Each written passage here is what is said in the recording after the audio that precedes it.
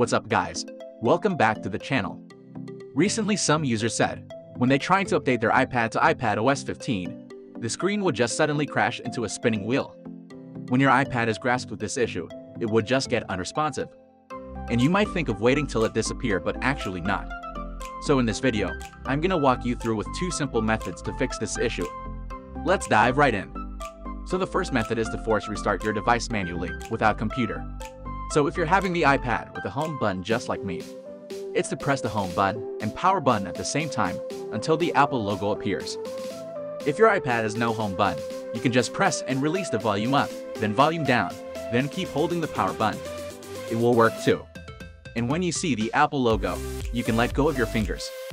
And later, the iPad will reboot. So if you tried the first method and still couldn't work this out, then you can try method 2 to fix this issue with Tenorshare ReiBoot, which won't cause any data loss. Let's see how it works. You can click the download link in description below if you have interests. Once installed, connect the iPad to computer. Then you should put the iPad into recovery mode first that it can be recognized. The same as how to force restart it but this time, don't get go of your fingers until you see the restore screen. Then on ReiBoot, click the Start button. Most of you may want to keep the data, so you should choose Standard Repair, and go on with the blue button. Then ReiBoot will automatically get the latest firmware of your device so needless to say, you will update to iPad OS 15 of course. Once downloaded, click Start Standard Repair. ReiBoot will start to repair your device. Usually takes about 10 minutes to repair. Please keep patient.